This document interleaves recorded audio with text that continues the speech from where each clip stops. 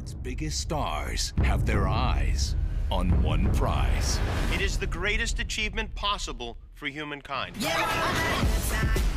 Yeah, we're all about a good life. This is gonna be a fun ride. I just want to be your man.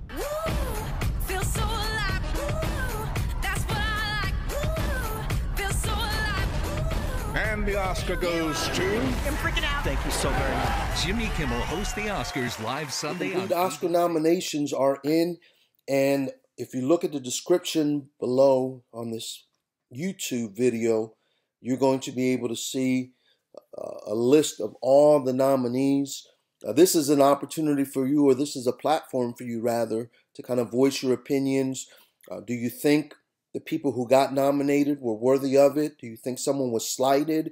Do you think a particular movie was was glorified and one that didn't gain any attention that should have?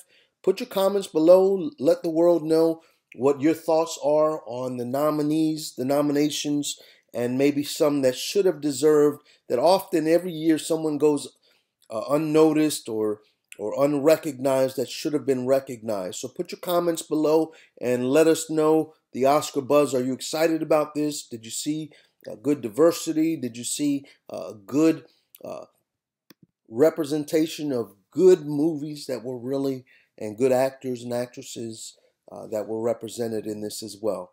Take care. You have a great day.